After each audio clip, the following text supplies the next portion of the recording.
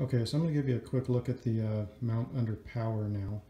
I have the uh, power cord hooked up to the wall, hand box to the mount. I'm going to go ahead and turn the power on.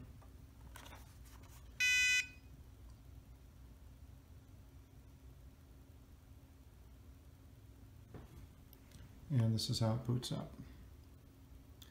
Shows, uh, well, it shows it's in the zero position, but I know it's not.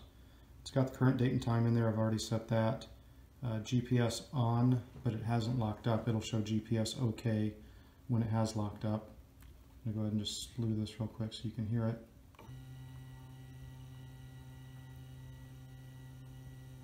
That's on one of the lower steps. I'm going to, if you push the, just the, like the 9 button,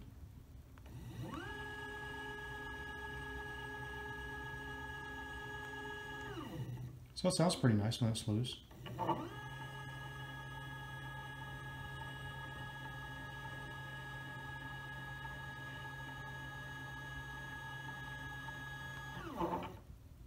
Okay, so we're going to go through the uh, firmware upgrade process. I'm going to screen capture my laptop as well. Um, so on the uh, hand controller, if you want to see what the current firmware is, go to the menu, and I'm just going to go up one, and then up two. You could go down, down, down, down, all the way to the bottom, and then there's the firmware. So right now, my uh, hand controller is uh, 2017 uh, 0322, March 22nd. Uh, the main computer or the main controller board, the RA and DEC are all the same 2016 1101 and the catalog is 2015 0429. So I know there is a new RA uh, controller board up, update for the firmware, so that's what I'm going to go ahead and update it to now. So I'm just going to back out of that, I think. So back get back. Oh, looks like the GPS is locked up now. GPS okay. Okay, so the connection here that I have is the uh, RS-232 cable to an RS-232 to USB converter into the laptop. Um, save yourself the hassle, go ahead and get one of the FTDI chipset uh, USB to RS-232 converters. I've tried the Prolific, sometimes they work, sometimes they don't. Uh, these are just hassle-free. I think I got this one on Amazon for maybe 15 bucks. Um, if you want to update either the uh, main controller board, RA or DEC controller boards in the mount, you'll need to come into this RS-232 port on the mount. And you actually don't even need the hand controller when you do that. I just plugged it in just so I could kind of see what's going on. If you're going to mount update the hand controller, you'll need to put the RS-232 plug into this port right here with the hand controller connected to the mount because the hand controller needs power and that's the only way it can get power is being connected to the mount with the mount powered on. Okay, so to upgrade the firmware, it's pretty simple. Go to the iOptron website, download the firmware upgrade PDF file. It really walks you through just absolutely everything you'll need to do. Um, it tells you the uh, the type of connection you'll need. If you need the USB to RS-232 converter, you'll have to buy that separately. The other wire that you need comes with the mount. Uh, starts off uh, going through the device manager. So once you've plugged everything up, and I have everything plugged up, and uh, the mount is turned on, you'll go through the device manager.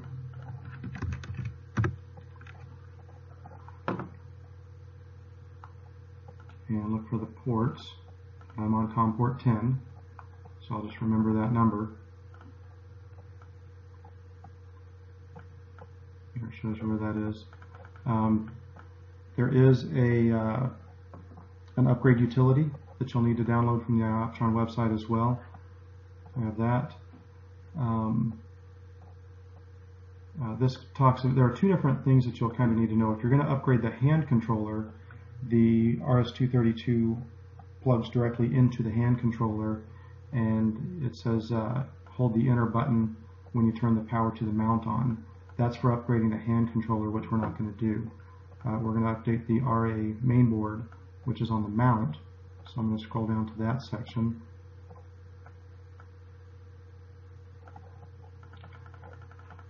Okay, so here, here it is for the uh, main control board, and then it's the same for the uh, RA and DEC control board. So you plug the RS-232 cable into the mount itself, and, and it's labeled RS-232 on the mount. And we're going to start the upgrade utility, which is here. And then you just browse to the file that you want to use to update. The newest one for me is this one, 2017-0505. Open it. It shows that the file is verified.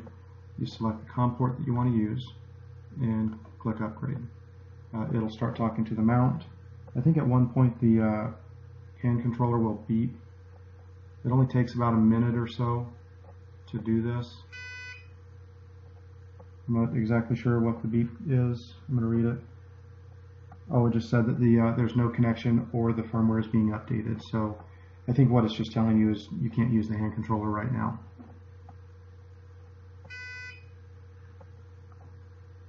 Yeah, mainboard connection error or any boards are being updated is what that message says.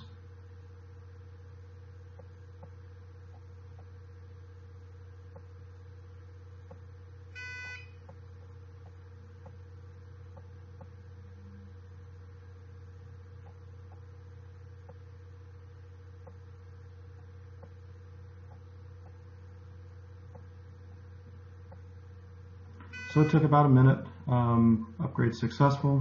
So if I, I'm not going to click upgrade again because that would just do it over again. Just going to close this out. Uh, it does recommend to uh, power cycle before you're, if you're going to do both boards, power cycle uh, before you do the next board.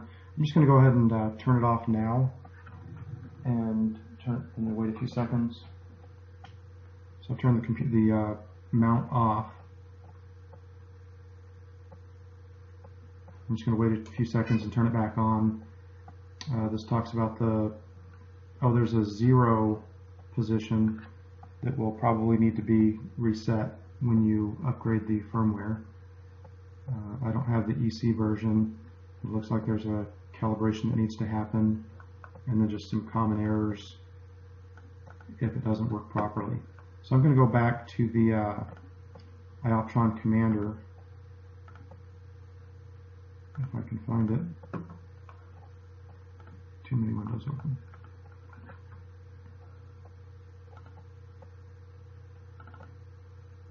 Okay, so I'm going to go back to the iOptron Commander. And uh, it's showing connected now.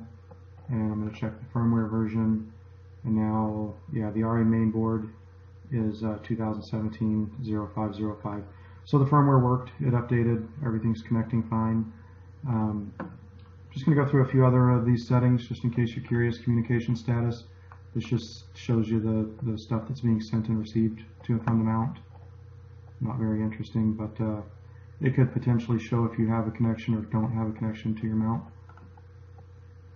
Enable log.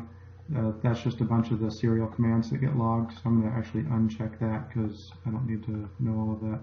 If you want to see the actual mount, and you can actually control the mount um, from here, if I just set the uh, speed a little higher and click the button, you hear it slowing, and now it's stopped. And you can change the uh, speed.